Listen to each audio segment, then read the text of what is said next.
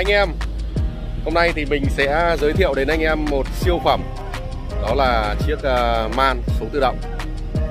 Đây mới gọi là cái siêu phẩm thực sự mà từ trước đến giờ mình chưa có dịp quay. Và uh, chuyến này thì mình vừa có thể là giới thiệu đến anh em về nội thất, ngoại thất Rồi uh, cả đến trải nghiệm và lái thử. Từ sáng giờ đã mình đã cất công mà tìm hiểu rất là kỹ rồi. Đấy. Sau lưng mình nhá.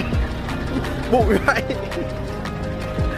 rồi, bây giờ thì à, mình sẽ quay camera lại để à, giới thiệu đến anh em à, về chiếc man này nhá. Có thể nói là cái bãi này nó bụi quá. Bây giờ mình đứng ở đây nó nó nó cái cái quạt gió với lại là di chuyển nó hơi bụi chút. Đấy, nhưng mà không sao cả. Có bụi đến mấy mình cũng chịu được. bây giờ sẽ giới thiệu chi tiết về đến đến anh em về cái chiếc xe man này nhá. Xin giới thiệu với anh em là hôm nay mình có gặp anh à, Trường Đen là anh em đã quen biết nhau đến khoảng hơn 4 năm rồi. Hiện tại là anh đang chạy chiếc xe man này.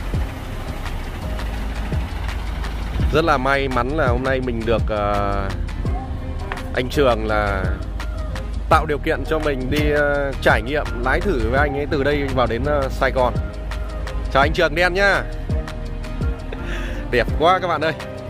Phải nói là một cái sự mà phấn khích với mình bây giờ chỉ có thể là wow thôi. Cái màu nó nó nó, đẹp nó đỏ ấy cái màu đỏ này lại là hợp với mệnh của mình nữa rất là đẹp.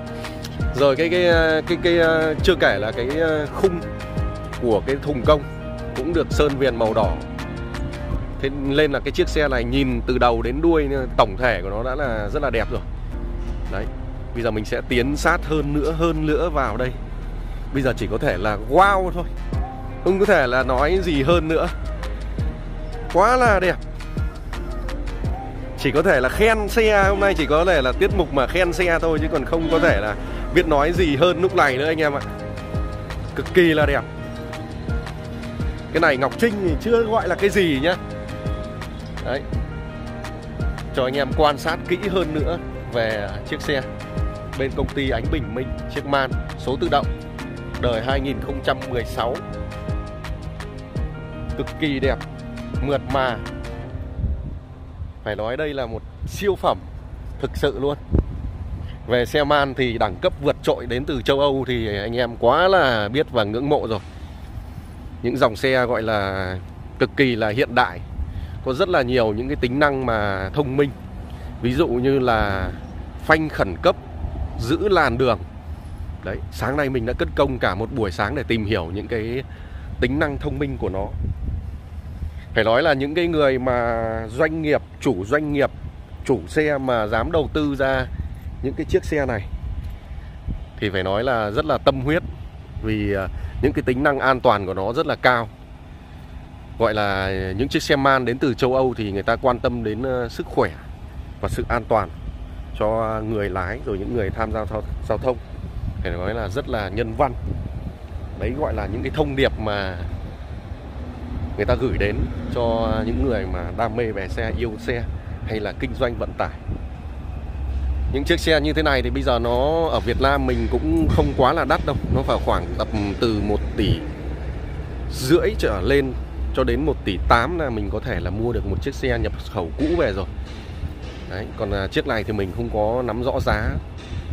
Vì đây là bản số tự động thì nó sẽ sẽ có giá nó nhỉnh hơn một chút nó hoàn toàn là sử dụng à, bầu hơi hết. Đường sau này là bầu hơi cho nên là nó đi rất là êm. Đấy, bầu hơi đây anh em nhé. Dưới này là bầu hơi. Còn đây là có một cầu à, một cái dí trước này là treo lên này chứ không phải là cầu. Đây là cái này chỉ là dí thôi treo lên. Chiếc xe này ấy, thì à, sáng nay mình tìm hiểu nó có rất là nhiều tính năng khác hiện đại. Ngoài ra nó còn có những cái chức năng như là sưởi ghế này. Đấy, Cái ghế lái là ngồi rất là ôm, rất là sướng. Số tự động thì nó đi rất là nhiều chế độ. Nó còn hơn cả là những cái chế độ lái của xe du lịch cơ. Nó kinh khủng lắm.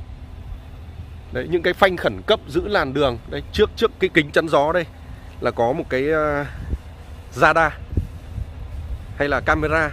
Đấy, rồi cảm biến để à, giữ làn đường này để phanh tự động này. Chính là cái cảm biến đây cái radar đây.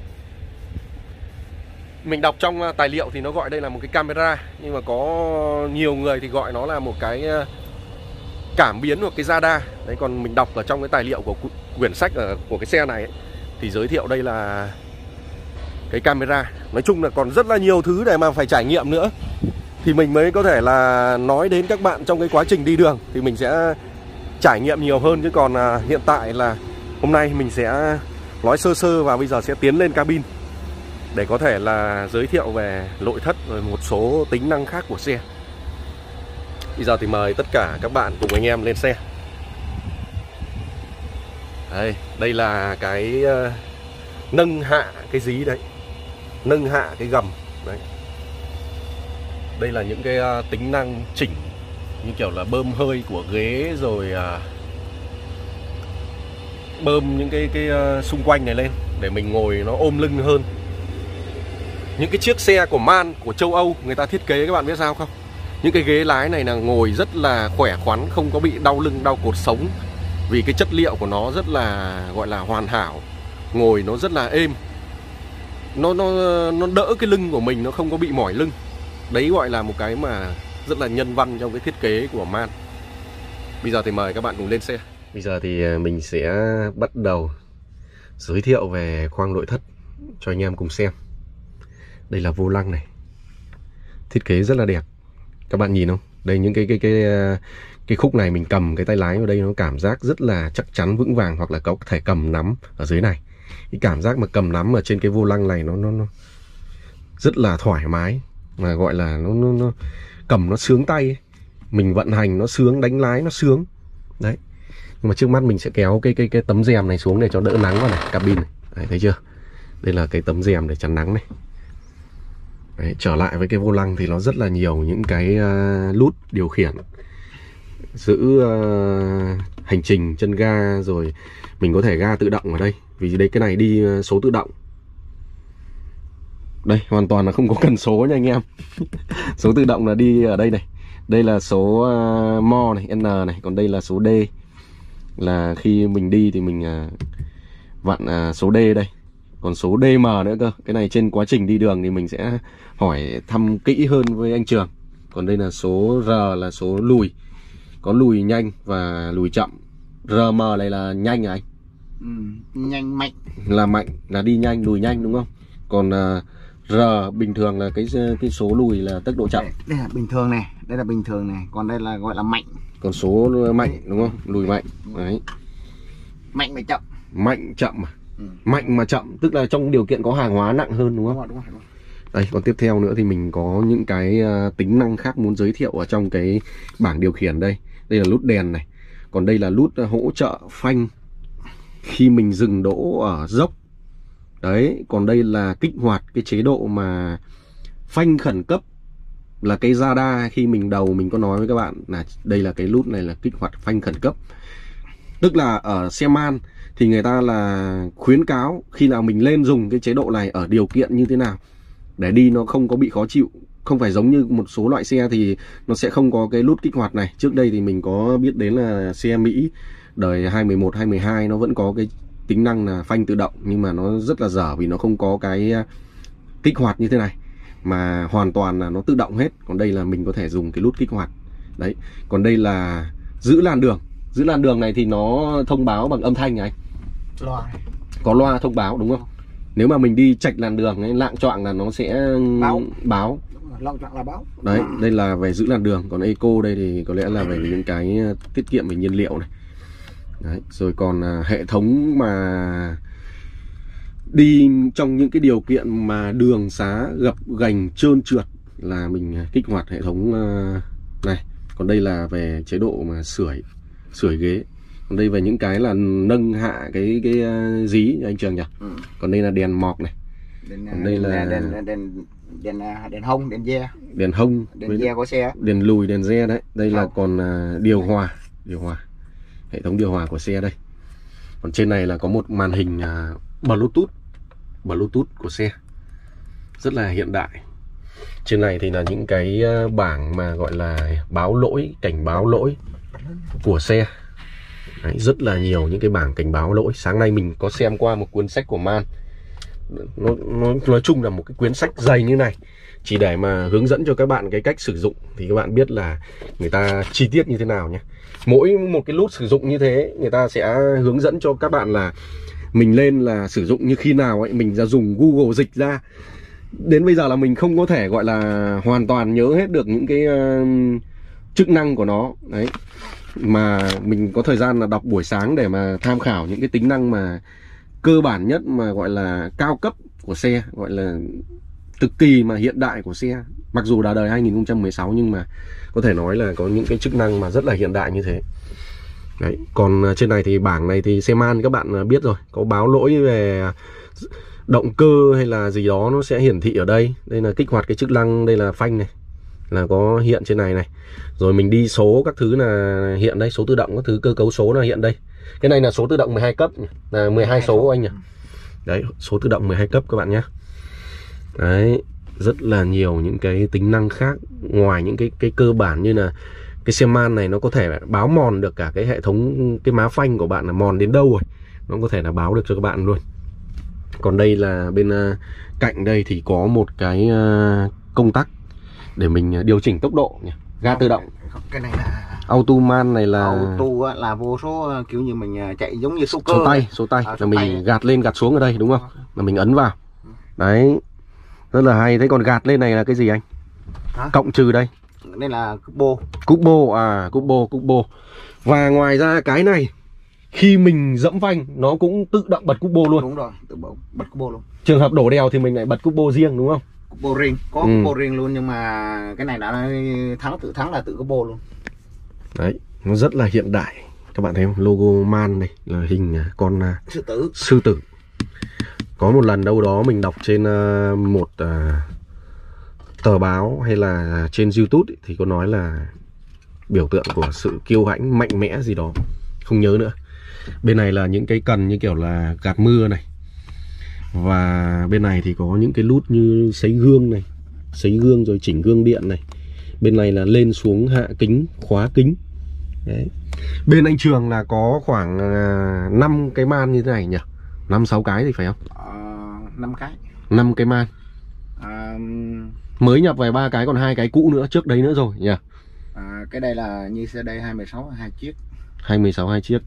Cái ba chiếc à, hai hai chiếc 215 Hai-. À, ba chiếc 211 ba chiếc 21 với một chiếc Kenworth rất là đẹp mà anh em xem trên ờ, TikTok hoặc là trên các mạng à, xã hội là người ta hay đăng lên. Đấy chính là chính là chiếc Kenworth màu xanh bên công ty Ánh Bình Minh.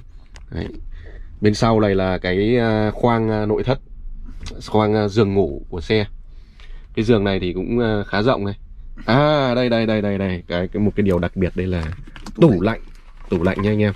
Tủ lạnh này có thể mình đẩy gọn cất vào gọn được. Kéo ra và cất gọn đấy. Rồi. Đây là ngăn tủ lạnh của xe đây. Có vẻ đóng đá kỹ phết đấy. Ồ mở cả ngăn này lên luôn à rộng phết đấy nhở rộng à, tương đương với cái tủ lạnh của à, xe Mark IV của mình. Đấy, chứ không có hề thua kém một chút nào cả. Đấy, cà phê à? Lạnh phết đấy. Đây này đóng đá bên cạnh này các bạn này. Đấy đóng đá bên cạnh ấy. Cực kỳ là là là hiện đại nhỉ. Quá là hiện đại. Đây là tủ lạnh. Cất gọn vào. Nó đẩy gọn vào hết cỡ là đến đây à anh? Hay là vào hơn sâu hơn nữa? Hết rồi vì để đây là mình tiện mình có thể mở ra được nhỉ? Đúng rồi. Đấy. tiếp theo này mình giới thiệu tiếp về phần à, bên trên này đi. Có mấy ngăn tủ để đồ thôi đúng không? Đúng rồi, mấy ngành đủ đây là mấy ngăn tủ để đồ. Mình cũng đã từng lên chiếc mẹc của bên ờ, tín thăng rồi nhưng mà chưa có dịp mà quay để mà trải nghiệm như thế này khi nào mà lăn bánh cơ. chứ còn nếu mà ngồi không mà mình cảm nhận thì nói nó cũng vô nghĩa lắm. Nói chung là phải có thời gian mà tìm hiểu này. đây bên này là cũng có một cái ờ, để chắn nắng này, nó không ảnh hưởng đến cái tầm nhìn ở gương này của các bạn đâu. Đây, không có ảnh hưởng đến tầm nhìn của cái ờ, kính chiếu hậu này. Rất là hay đấy. Nói chung là rất là hiện đại. Cũng phải là phải trải nghiệm, phải lái thử nữa thì mình mới cảm nhận được hết về cái chiếc xe này. Chứ còn bây giờ ngồi đây để mà nói thì nó cũng chỉ là lý thuyết thôi.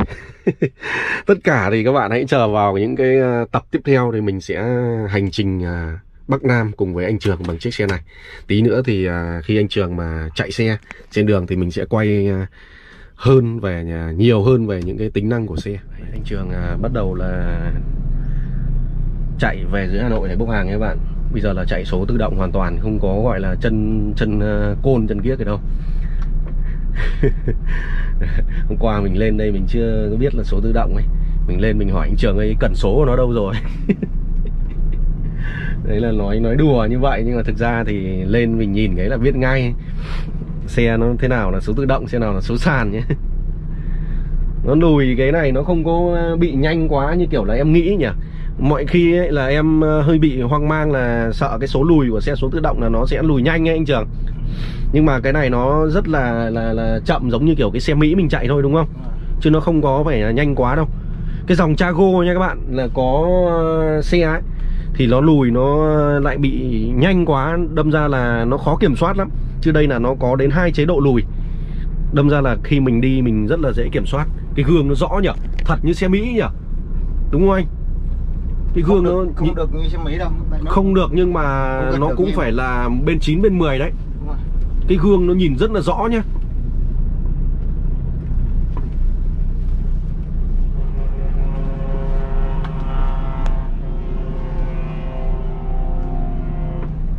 đi công nhận nó cabin nó êm nó sướng. Nó êm làm sao? Bóng hơi mà bóng hơi mà đầy đủ. Gọi là từ uh, dưới uh, đường sau là có bốn bóng hơi rồi cabin thêm bốn bóng hơi nữa. Thì các bạn bảo sao nó không êm êm như xe giường nằm ấy. Đây là cái đường này rất là cái bãi rất gập gập, gập ghè rồi xấu ấy. Mà nó đi êm như thế này xem nào chiếc xe gần nhất đây mình đi là con xe nào mà mình khen nó êm nhỉ? Không nhớ nữa nhưng mà con này thực sự là êm. Con Volvo mọi lần mình đi con Volvo nhưng mà con Volvo thì nó ngắn hơn con này. Thì à, cái khoang à, lái thì nó nhỏ hơn con này. Mọi lần mình đã chạy chiếc à, Volvo của Tín Thăng rồi. Hey, nhìn đường sau này ra nhìn cái cabin nó rất là ngầu xịn sò. Phê thật chỉ ngồi đi, đi ngồi thế này thôi là nó đã sướng rồi ấy. chưa kể là đến khi chạy thế nào. Anh trường bây giờ đang đi à, số tay đấy à? Số tay. Số tự động này. Số tự động tự do này thấy chưa? Rồi rồi rồi. Nó chuyển lên số 6 kìa. Ui mạnh nhỉ số 7 này to lắm này. Số 8 này. Rồi. đây chuyển nó tay tự tay chạy tay là bấm auto rồi chạy tay. Em vừa thấy anh đi số tay đấy à? Đấy, đúng không? này, đi số tay rồi, đấy. rồi đấy cũng cũng là, là tự động này đấy số 10 đã có 10 trời nhưng mà mình tay à, nó nó quen cái cái tua rồi đấy. Mình chạy xe tua máy nó à? quen rồi đấy vâng. giờ mình chạy cái xe này tự động thì nó phải đủ tua nó mới vô số được. À. Nên là nó hơi hơi hơi hao nhiên liệu mà mình đi à, số số giống như số cơ của mình thì nó đỡ hao Chà, cái nội thất nhìn đẹp quá. Ngồi ở sau này nhìn ra anh em nhìn thấy sướng không? Êm không? Êm cực kỳ luôn đấy Nhìn cái cabin ra ngoài nhìn đẹp thật đấy. Ngồi từ đường sau này ra nhìn rất đẹp luôn. Man này thì mình chưa được lái thử bao giờ này Và cũng chưa được uh, gọi là trải nghiệm những cái dòng uh, xe cao cấp của Man như thế này đâu. Hôm nay mới được đi lần đầu tiên luôn đấy. Một, Mọi lần đã quay một cái nhưng mà đời hơi thấp của Tín Thăng. Tín Thăng thì cũng có rất là nhiều cái đời cao nhưng mà mình chưa được quay cái cái cái đời mà chạy số tự động như thế này đâu. Hôm nay thì anh Trường anh ấy đi thì mình mới có dịp để mà trải nghiệm. Hiện tại là bây giờ mình đang qua thành phố Bắc Giang nha các bạn. Thì qua cái thời gian vừa rồi ngồi trên xe trải nghiệm được khoảng 30 phút Thì phải nói nó thật sự rất là êm. Anh Trường cũng là một người chạy xe Mỹ rồi thì theo anh uh, Bây giờ để anh nói đi Anh cảm nhận có êm hơn uh, xe Mỹ không? êm em phải so sánh với êm với giường nằm ấy anh ạ. Ồ đấy Đấy là cái ờ, cảnh báo làn đường đấy là bây giờ hiện tại đang chạy vận tốc là 60 đúng không? Là hơi có lệch cái làn đường một chút là cái loa nó sẽ kêu uh, ồ ồ lên đây các bạn thấy không? Rất là là là hay. An toàn đúng không? Thực sự là cabin nó rất êm. Và cái cách âm các bạn biết không? Cách âm cực kỳ tốt. Cực kỳ tốt. Mình không thể nghe thấy một tí nào gọi là tiếng máy luôn và những cái tiếng ồn ở bên ngoài, tiếng gió ở bên ngoài nghe rất là nhỏ. Nói là cái thiết kế và cái à, phải nói là cái hoàn thiện của nó thật là hoàn hảo luôn. Cực kỳ là hoàn hảo. Phải nói là những cái người mà người ta thiết kế và sản xuất ra chiếc xe man này, đó là những cái bộ óc về hàng đầu về ô tô của thế giới, đúng không các bạn? Phải nói là thế.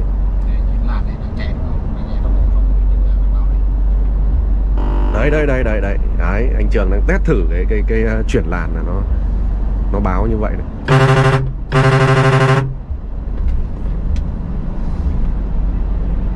nói chung là xe này thì bây giờ các bạn ngồi lên đây chỉ biết là khen thôi.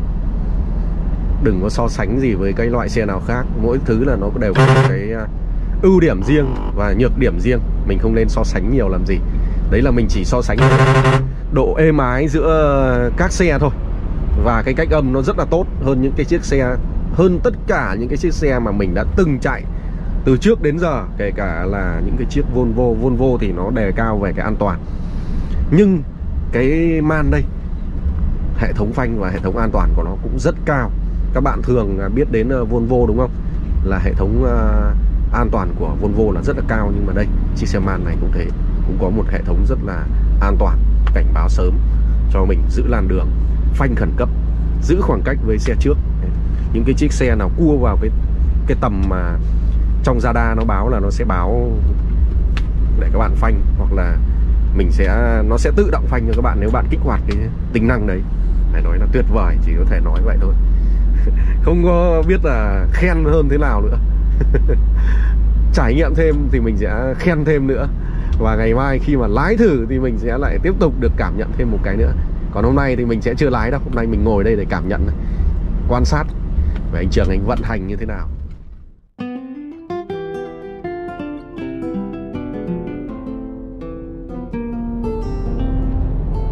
Phải nói là nó à, êm quá các bạn ạ. Không có gì diễn tả nổi nữa. Các bạn ngồi ở ghế phụ này nó như kiểu đi du lịch đi một chiếc xe du lịch mà gọi là vip limousine gì đấy ấy đấy, đại loại là nó ngồi êm như thế, các bạn ngồi đây tận hưởng cái cái cái màn hình rộng đây này. Cả nguyên một cái tấm kính trường trước nó là một cái màn hình rộng, màn hình phẳng mà cỡ đây là khoảng cầm 80 in hay là 100 in gì đấy mà các bạn ngắm ở đường xá các cảnh. Cần gì phải lái? Anh trường anh lái rồi. Mình chỉ việc ngồi đây thôi. Ngồi đây thưởng thức cái độ êm của nó, độ êm ái của nó, cảm nhận cái độ êm nó sướng làm sao. Thế thôi, ngồi ngắm cảnh thôi. Xem có em nào chân dài đi qua nữa, ngắm. Vậy thôi, tận hưởng đấy cuộc đời mình đi review xe nó sướng như thế đấy đúng không? Rồi sướng. Cứ đi thế, thế, thôi các bạn. Việc gì phải là đi chạy nhiều làm gì mệt các bạn. Mọi việc khác là anh trường anh chạy rồi nhưng mà thôi đêm mình chạy cho anh ấy. ngày mai ngày mai anh em mình mới lên đường từ ờ, hà nội vào chứ còn ngày hôm nay mới bốc hàng thôi. Cái ghế nó ngồi cũng sướng. Anh trường chạy cho em ngủ phát nhá.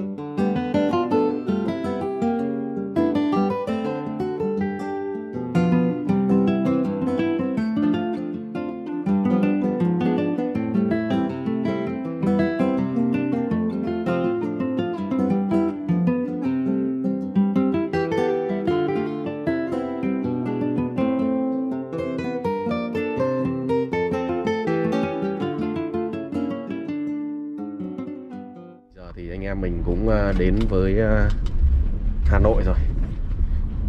Chuẩn bị đi rẽ về hướng à, bến xe nước ngầm, trung tâm Hà Nội. Trung tâm Hà Nội thì không phải là dưới này, Nhưng mà ý mình nói là cái đường này là đi về trung tâm Hà Nội. Đây. Quay một chút về đường xá. Và cũng như là cái à, trải nghiệm của mình Thì nay ngồi đây cảm giác rất là khỏe. Người ngợm nó khỏe, không có sóc không có mệt mỏi cả. Cực kỳ là sướng. Phê.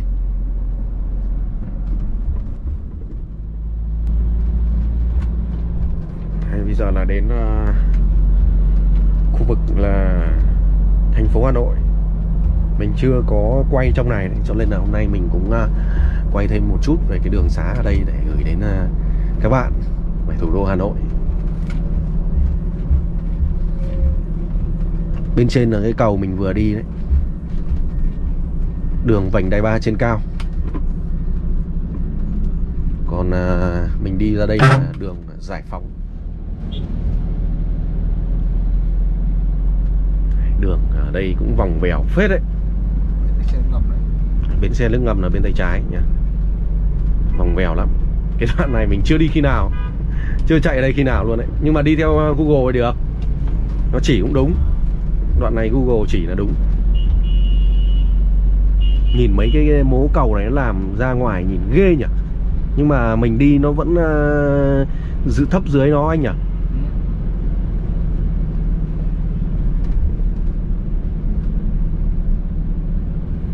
Và bây giờ mình sẽ rẽ bên tay trái đúng không? Anh bốc hàng gần khu vực này đúng không? Đấy, giao thông ở đây đông đúc lắm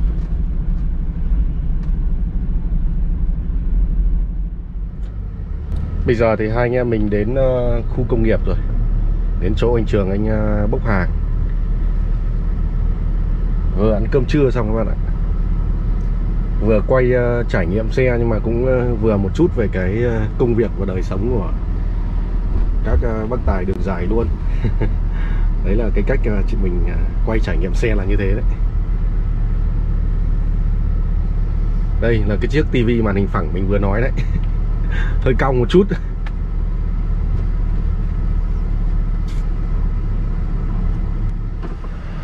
Anh em mình thì bây giờ đến ờ, nhà máy rồi, để chiều anh trường bốc hàng thì sáng mai mới vào được cơ. Thì bây giờ mình cũng ờ, đến lúc mà kết thúc cái ờ, video tại đây. Tập sau mình sẽ dành riêng một tập để trải nghiệm riêng lái xe.